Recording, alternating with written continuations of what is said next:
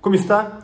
Eu sou o Dr. Fernando Lemos, coloproctologista, especialista das doenças do intestino, e neste interessante vídeo eu quero falar quem não pode comer cebola, ou em quais situações o comer cebola faz mal. Mas antes de começar, eu quero te fazer um pedido especial agora. Pare o que você está fazendo. Clica onde diz curtir. Dê um like nesse vídeo, dê um joinha. Pessoal, é muito importante isso o YouTube entende que esse vídeo é relevante e ele indica, compartilha com outras pessoas. Então faça isso agora, quanto mais like nós tivermos, será muito importante para o nosso canal Planeta Intestino. E obviamente, se você não faz parte da nossa família, do nosso time Planeta Intestino, clique-se de se inscrever. Aqui embaixo é gratuito, clique-se, você vai receber avisos que nós estamos com publicações atualizadas, lembrando que o nosso canal só traz informação com comprovação científica, que você pode clicar em descompartilhar e compartilhar em grupo de WhatsApp com famílias, com amigos próximos, que você vai estar compartilhando informação de qualidade. E a última orientação é, quem não faz parte ainda do nosso Instagram, é dr.fernandolemos, dr de doutor, ponto Fernando Lemos. Lá no Instagram eu trago algumas publicações que eu não trago aqui no YouTube. E lá eu trago casos clínicos do meu dia a dia, cirurgias que eu faço, algumas orientações sobre novidades de medicamentos, de alimentos. E a maioria das respostas, perguntas e respostas, eu respondo também ali pelo nosso Instagram, dr.fernandolemos. Te espero lá também, aqui no YouTube e lá no Instagram, ok? Vamos lá. Cebola faz mal? Doutor Fernando Lemos está dizendo que não é para comer cebola? Não coloque palavras na minha boca. Cebola é um vegetal que o nome científico chama-se Allium cepa. Allium cepa é o nome científico para cebola. É um dos vegetais mais consumidos do mundo. Muitas pessoas dizem eu não consigo cozinhar sem cebola. E isso aqui não é algo só aqui do Ocidente, é do Oriente, de todos os continentes. A cebola é um vegetal utilizado muito na culinária do mundo todo. E a cebola tem muitos benefícios que na verdade não é o objetivo aqui desse vídeo, você vai ter talvez milhares de vídeos falando sobre os benefícios da cebola e pouquíssimos, dá para contar nos dedos, quem vai falar sobre as contraindicações da cebola. Cebola tem efeito bactericida, que ajuda a matar bactérias? Verdade, que bom, né? Cebola tem efeito antiviral, combate muitas viroses? Sim, lembra que nós estamos numa pandemia, e essa pandemia é causada por um vírus. E nós temos muitas doenças causadas por vírus. E a cebola tem um poder antiviral? Tem. Poder tem, a cebola tem efeito anti-inflamatório? Com certeza. A cebola tem efeito antioxidante, ou seja, ele se liga, destrói muitos radicais livres que acaba levando ao envelhecimento e até mesmo a muitos tumores. Por isso que muitos estudos indicam que a cebola pode ter uma ação antitumoral. Cebola é bom para baixar a glicose em pacientes diabéticos ou até prevenir uma diabetes, verdade? Tudo verdade. Então, cebola é um vegetal maravilhoso? Ele é, indiscutível. Só que eu, como especialista, e logo você vai entender por que, que eu estou fazendo esse vídeo, aconteceu um caso com um paciente meu esta semana que eu vou contar para vocês logo mais, que me levou a ter o interesse de trazer a público essa orientação que é muito pouco dada uma informação que eu diria quase que exclusiva. Quais situações que eu não indico comer ou consumir cebola? Na verdade, são quatro situações, bem fácil para você gravar ou até anotar aí. Vamos lá. Primeira situação, e isso aí saiu num, numa revista muito importante, né? National Digestive Disease, muito importante, fez uma publicação que cebola causa muitos gases tanto na forma de eliminar muito gases, pessoas que eliminam muitos gases, ou pessoas que ficam com barriga estufada, distendida. E pode piorar também a acidez gástrica, piorar sintomas de azia, sintomas de refluxo, esofagite, gastrite e duodenite. Porém, em algumas pessoas que já têm a predisposição para ter essas doenças. Por exemplo, se você me dizer a minha digestão é maravilhosa, eu não tenho problema de gases, eu não tenho problema de refluxo, eu não tenho problema de síndrome do intestino irritável.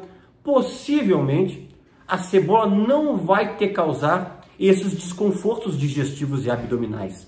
Porém, em pacientes que já tem esses diagnósticos, não é interessante consumir a cebola. E eu sempre digo para meus pacientes, por quê? Você já deve ter ouvido falar na dieta do Food Maps, né? F-O-O-D-M-A-P, né? Que na verdade nada mais são do que uma lista que estão publicando agora de alimentos que são fermentáveis, que fermentam muito na parte digestiva, que se liga com a microbiota do intestino e isso aí, por causa da fermentação, forma muitos gases e também são alimentos mal absorvidos. E a cebola faz parte sim desse grupo que é rico em food maps. A cebola é rica sim nesses tipos de, de alimentos e também a cebola tem rafinose.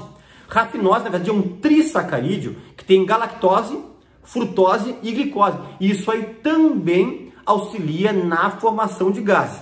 E a cebola que mais faz dar gases e mais prejudica a parte digestiva, sabe qual é que é? Aquela cebola que está um pouco mais verde que não é tão madura para você entender o que eu estou falando aqui, tá? Aquela cebola mais esverdeada, que tu vê que ela tá mais novinha ali, essa aí pode prejudicar mais a parte digestiva do que a cebola comum. Mas lembro novamente, é para quem tem predisposição para a formação de gases ou ter problemas digestivos, de gases, acidez, azia, entendeu? Segundo detalhe, e esse aqui foi publicado na Universidade da Geórgia, um artigo muito bem delineado, que estudou e mostrou que a cebola é rica numa substância chamada adenosina. E essa adenosina, ela evita que as plaquetas se agreguem. O que, que é plaquetas? É, uma, é, uma, é um componente, um elemento do sangue que ajuda na coagulação sanguínea. Quando você se corta, quando nós fazemos alguma cirurgia com um paciente, nós precisamos da ação das plaquetas para fazer a coagulação. Senão o paciente vai sangrar demais. E descobriu-se que a cebola independente se é cozida ou crua, ela é rica na substância adenosina e com isso pode facilitar sangramentos, principalmente em pacientes o quê? Que já usam anticoagulantes, por exemplo, derivados do ácido acetil salicílico. Quer exemplo? Aspirina, AS, Melhoral, Calmador, Doril. Pacientes que usam anticoagulantes um pouco mais fortes, tipo clopidogrel, que é muito comum pacientes que fazem cirurgia uh, cardíaca, utilizar pacientes que têm alguma embolia pulmonar ou trombose venosa profunda, ou anticoagulantes um pouco mais antigos, tipo Marevan, Varfarina, Marcomar, ou os mais modernos, tipo Pradaxa, que é muito utilizado, o Xarel, que estão utilizando muito agora para prevenir tromboses e embolias para pessoas que tiveram o coronavírus, né? Uma, na sua forma um pouco mais grave. São todos medicamentos ótimos. Mas cuidado você que consome muita cebola e consumir esses anticoagulantes pode ter uma piora do sangramento se você precisar uma coagulação. Então eu sugiro, eu como cirurgião, para os meus pacientes, se possível sete dias antes da cirurgia, não consumir grande quantidade de cebola, ok? Terceira situação. Outra situação que saiu num periódico muito importante do mundo, que é um periódico sobre alergia e imunologia clínica. E aqui está o motivo que aconteceu com o meu paciente, que é uma coisa que não é comum, já vou dizer para vocês, é incomum até um certo a situação rara, né? Tem muitas pessoas que acabam se tornando alérgicas à cebola, intolerantes à cebola como se você não fosse e por causa do consumo ao longo da vida você acaba se tornando sem tolerância. E isso aí pode causar alergia.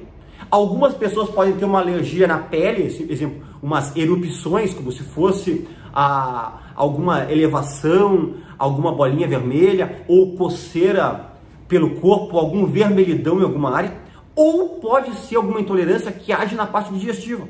Por exemplo, vômitos, diarreia, náuseas. Olha que interessante. Eu tive, tenho um paciente meu que ele faz acompanhamento comigo faz uns 4, 5 meses. E esse paciente tem diarreia, eu investiguei ele para tudo, você pode imaginar. Para doença de Crohn, investiguei para retocolite ulcerativa, investiguei para intolerância à lactose, intolerância a glúten, síndrome do intestino irritável, tentei colocar ele dentro desse grupo aí. Nada, nada. Vocês podem saber que eu sou um médico que gosta de investigar. Eu chego a ser até chato com meus pacientes, porque eu não saio dando medicação sem ter certeza do que o paciente tem. E eu acabei pedindo uma série de uh, um exame para poder ver sensibilidades a alguns alimentos específicos.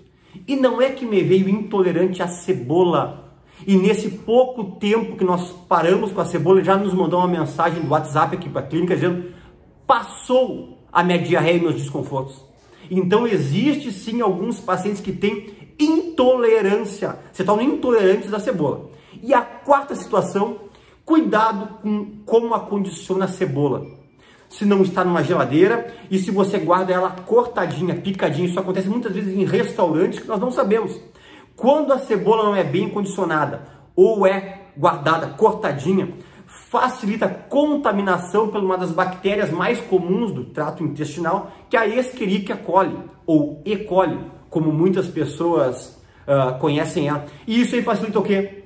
Gastroenterites, que são infecções intestinais, muitas vezes é por causa desse consumo excessivo de Escherichia coli, e também facilitar, principalmente em mulheres, infecção do trato urinário, porque a maioria das bactérias do trato urinário, quando tem infecção mulher, vem do intestino, né? Pela proximidade da parte da uretra, vagina com ânus. E geralmente é a E. coli. Então são pessoas, às vezes, que estão consumindo muita cebola, acondicionando de forma errada e equivocada.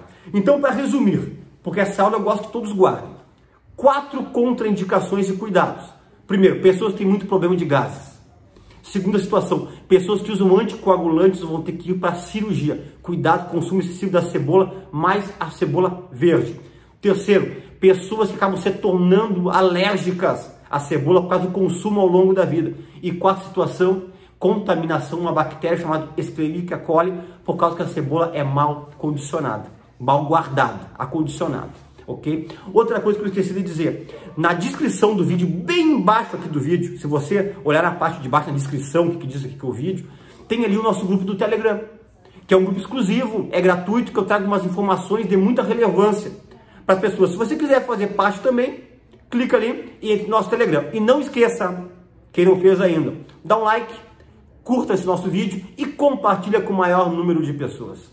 E até um próximo vídeo.